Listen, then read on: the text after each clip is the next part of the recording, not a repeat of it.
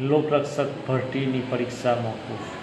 સમગ્ર ગુજરાતના યુવાનોમાં આક્રોશ નવ હજાર સાતસો તેર બેઠકો માટે આઠ લાખ છોતેર હજાર ત્રણસો ને પાસઠ ઉમેદવારો પરીક્ષા આપવાના હતા.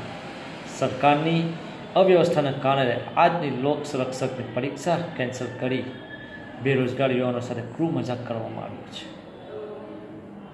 એક યુવાન અંદાજે હજારથી પંદરસો રૂપિયા ખર્ચી પરીક્ષા આપવા આવતો હોય ગુજરાત સરકારે યુવાનોને આર્થિક રીતે નુકસાન કર્યું છે. જે યુવાનો માનસિક રીતે તૈયારી કરીને આવેલા હોય તેવા યુવાનોને આઘાત લાગ્યો છે. દરેક સરકારી ભરતીઓ દરમિયાન જ્યારથી આ સરકાર આવી છે, આ રીતે ક્રૂ મજાક કરવામાં આવી રહ્યો છે. શું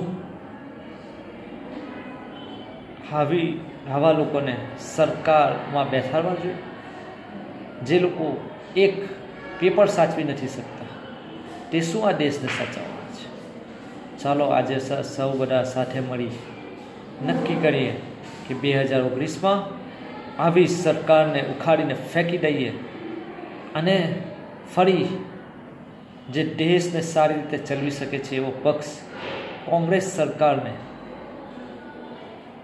દેશની દોર સોંપી દેશને આગળ લાવીએ અને દેશના વિકાસમાં વધારો કરીએ. Thank you very much